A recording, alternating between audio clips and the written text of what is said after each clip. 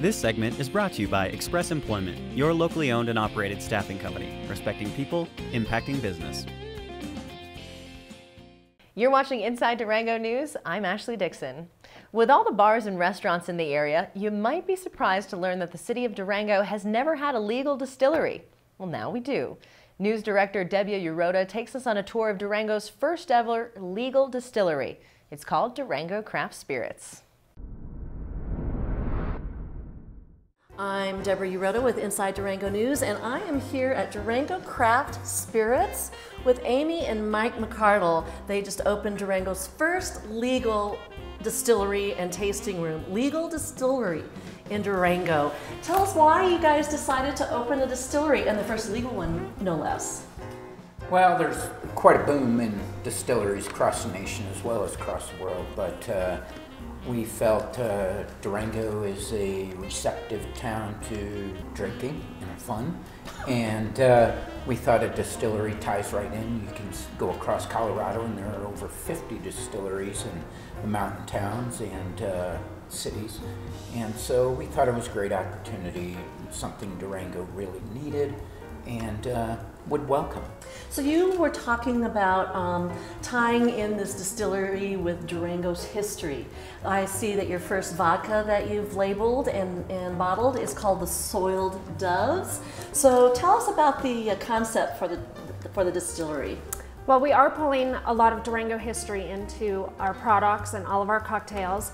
Um, the Soiled Doves, which was another name for the prostitutes at the turn of the century, um, they, they contributed a lot to the founding of Durango. Um, they brought a lot of business into Durango as an early mining town.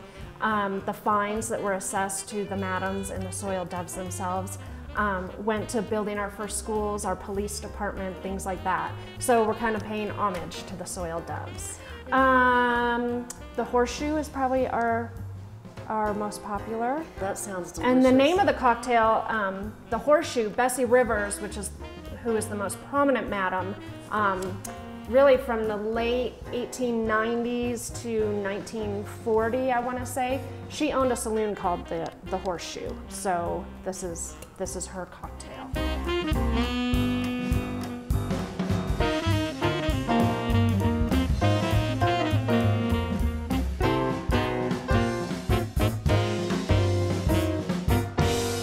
Cheers.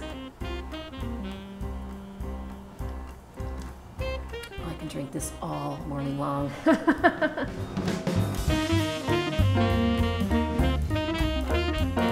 finished product that I just drank starts out as grain, and what do you do with the grain to make that happen? Well, Debo, we cook these grains over in the mash tun right here, this 400 gallon mash tun. And it's a process, takes about six hours, and then we'll cool that through our wort chiller hanging on the wall. That's that big horseshoe. And from there, we pump it into a fermenter. And this fermenter, we'll just pump in the top here, and uh, that's 300 gallon fermenter that will take about three to four days to convert those sugars to alcohol. And at that point, we will load it back into the still and uh, condense those alcohols in a stripping run.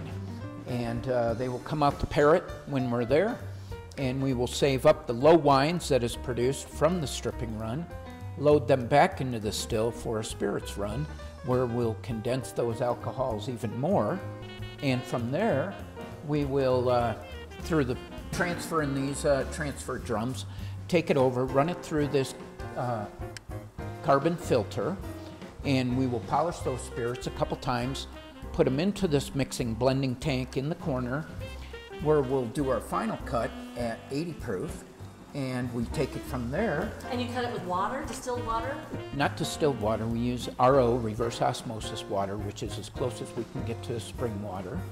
And then we'll uh, pump it through our bottler, where we can fill four bottles at a time in about 25 seconds. And at that point, we cork them, seal them, box them, and get them ready for the so customer. this really is a handcrafted uh, spirit because you're actually bottling them by hand, not by a machine. Thank you very much, Michael, for your tour of Durango Craft Spirits. We wish you all the luck in the world. Back to you, Ashley.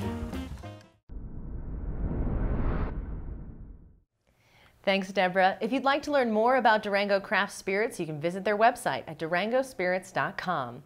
After the break, find out who won $5,000 from the Red Ball Express and then see who's coming to visit during our Furry Friends feature.